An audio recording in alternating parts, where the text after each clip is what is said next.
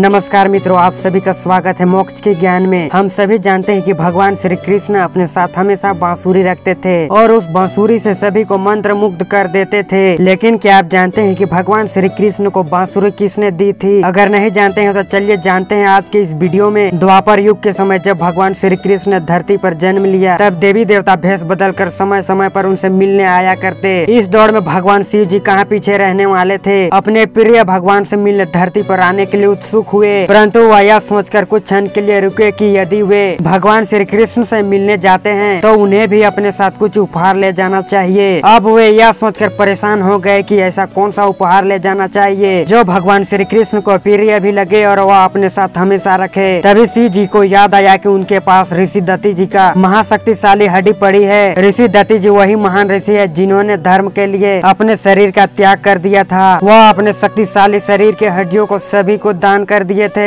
उन हड्डियों की सहायता से ही विश्वकर्मा जी ने तीन धनु बिना गांडी सारंग तथा इंद्र देव के लिए वज्र का निर्माण किया था शिव जी ने उस हड्डी को घिस घिस कर एक सुंदर मनमोहक बांसुरी का निर्माण किया जब शिव जी भगवान श्री कृष्ण से मिलने गोकुल पहुँचे तो उन्होंने भगवान श्री कृष्ण को भेंट स्वरूप बांसुरी प्रदान की और उन्हें आशीर्वाद दिया तभी ऐसी भगवान श्री कृष्ण उस बांसुरी को अपने साथ रखते है तो दोस्तों आपको आज की जानकारी कैसी लगी आप कमेंट में अपना विचार जरूर बताना और आप इस वीडियो को लाइक और शेयर जरूर करें अगर आप इस चैनल पर नए हैं तो चैनल को सब्सक्राइब कर ले और घंटी को दबा कर नोटिफिकेशन बेल को क्लिक कर ले ताकि आपको हमारी नई वीडियो की जानकारी मिलते रहेगी